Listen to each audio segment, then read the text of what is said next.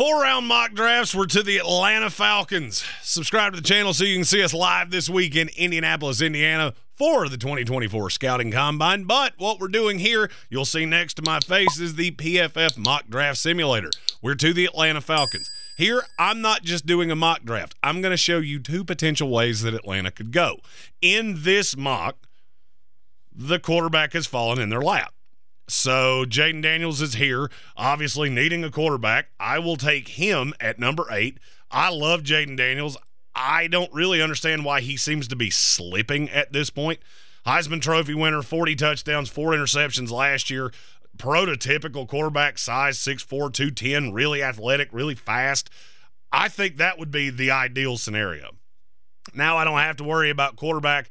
I don't have to worry about any of the other things. I just got the guy that I need, and I sat right where I am. So I'll take Jayden Daniels. I still have 43, 74, 79, and 110. All right, we get to 43, and there's another guy that's just sitting on the board waiting for me to make use of the selection. So I need an edge rusher. Uh, I like some of what Atlanta has, but I think they could use more, as many other teams could. So I'll take Chop Robinson, the edge out of Penn State. Two really high end years. Just didn't necessarily evolve as much this year as you would think uh, with him being an older player. Didn't play as much, had some injury things this year but I still think 92.3 pass rush grade, uh, 20.9% pass rush pass rush win rate. I think he comes in as a situational pass rusher to start.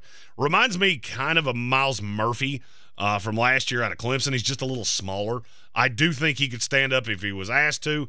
I, I also think he could just come in in four man fronts and be an absolute dog against the pass. Uh, and if you watch how Raheem Morris coordinated the defense with the uh, Los Angeles Rams, I think he kind of fits into one of those situational roles. Uh, to begin with, with the goal of evolving him. So I take Chop Robinson right here at number 43. Button, let everything keep rolling.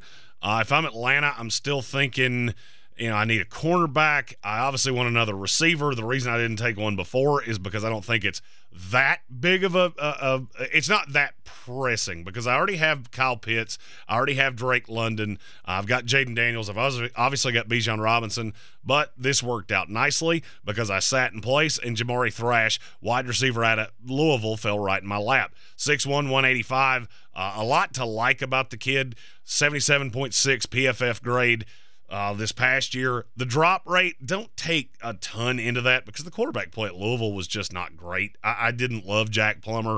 Uh, I evaluated Louisville going into the ACC championship game with Florida State, and there just wasn't a ton to be impressed by.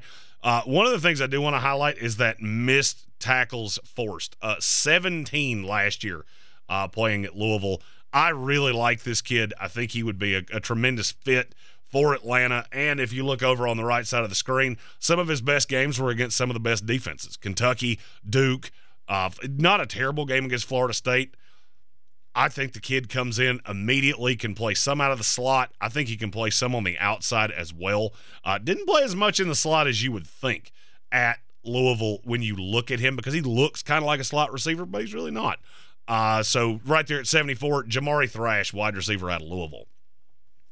My second third round pick.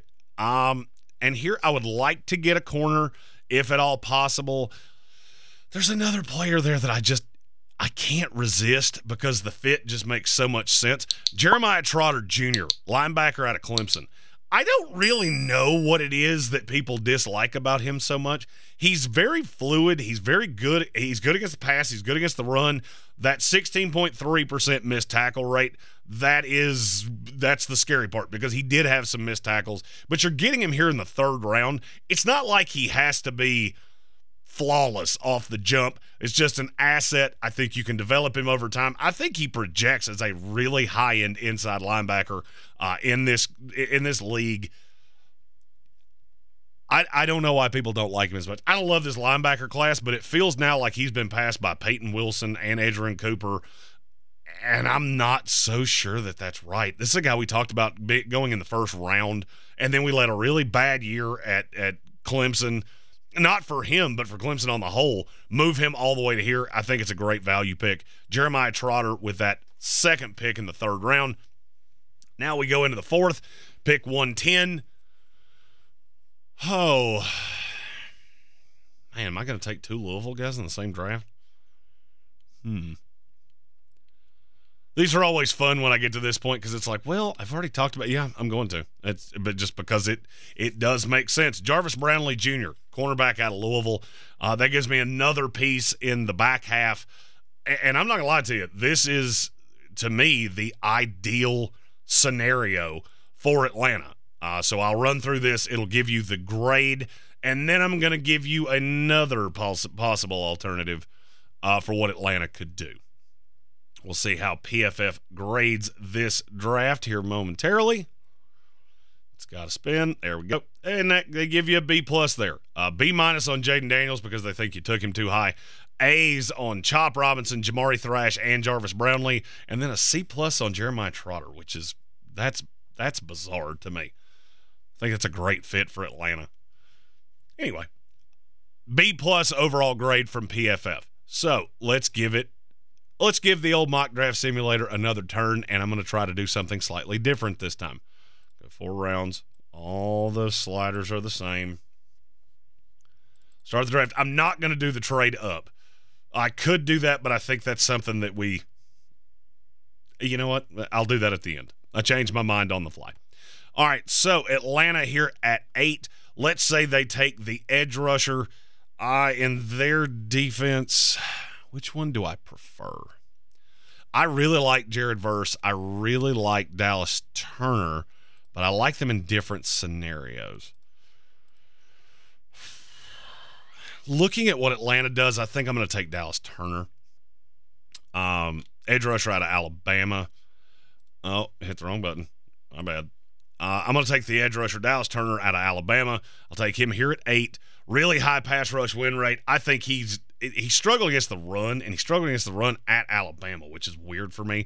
Only a 4.2% run stop rate, but I've got Calais Campbell in front of him. So it's not necessarily that I'm overly worried about that. I think he comes in as a premier edge rusher off the jump and can get after quarterbacks.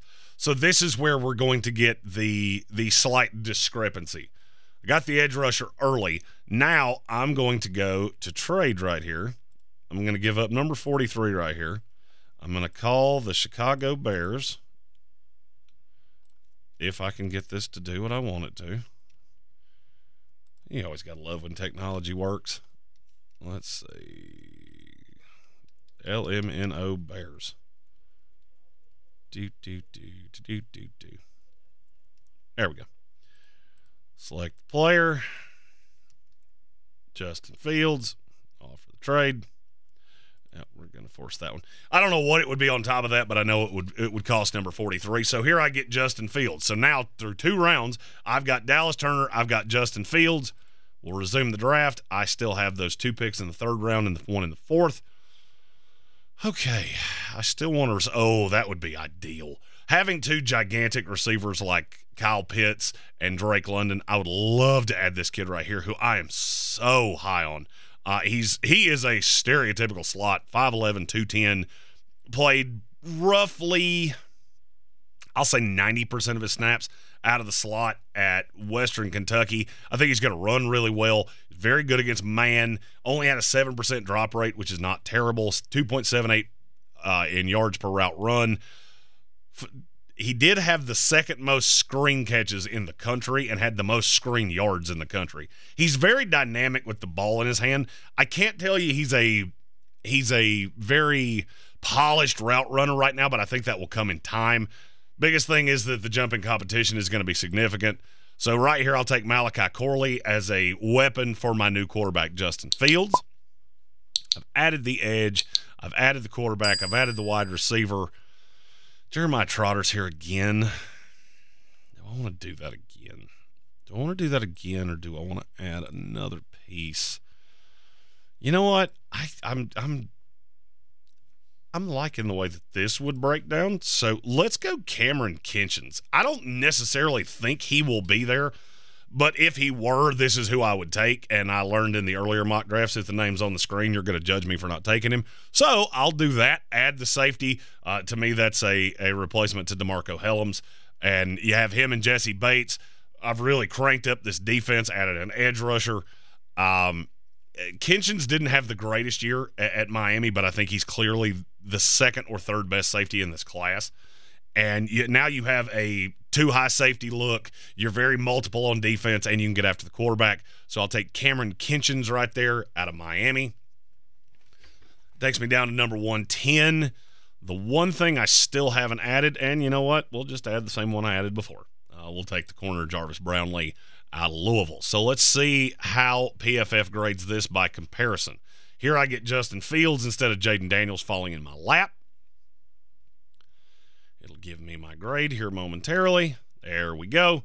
Okay, so I got Justin Fields uh, for a second round pick. There probably would be another conditional pick there, but uh, I'm going with the Field Yates deal, which is basically that's what it would cost. B minus on Dallas Turner, which is a much lower grade than I thought it would be. A's on Malachi Corley and Jarvis Brownlee, both A minuses, and then a C plus on Cam Kinchens.